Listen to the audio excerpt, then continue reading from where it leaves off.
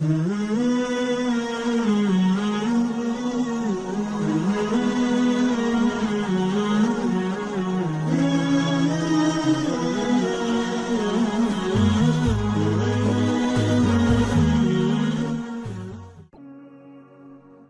he himself says that wherever I would go, people would say, This is Imam Abu Hanifa. They would point the finger at me and they say, This is the man.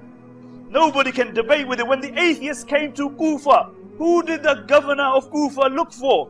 He looked for Imam Abu Hanifa to debate with him because he was a man who would rise to the challenge.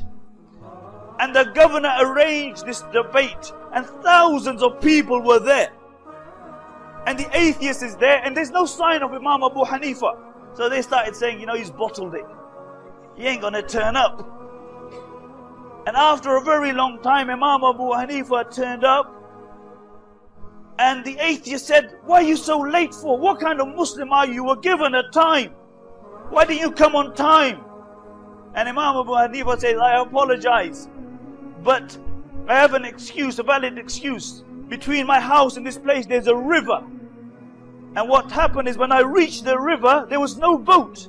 So I waited for a very long time, no boat. And then all of a sudden, what do I see? A tree falls down all by itself. It cuts up into planks. It forms a boat. It comes to me. I jump in it, and all by itself, it takes me across. The atheist said, What a load of hocus pocus. Imam Abu Hanifa said, Game over. Debate finished. He said, What do you mean debate finished? The debate hasn't even started. And Imam Abu Hanifa rahimullah said, If a boat cannot come into being without a creator and a maker, how do you think the heavens and the earth, the seas and the trees, the birds and the bees came into being without a creator?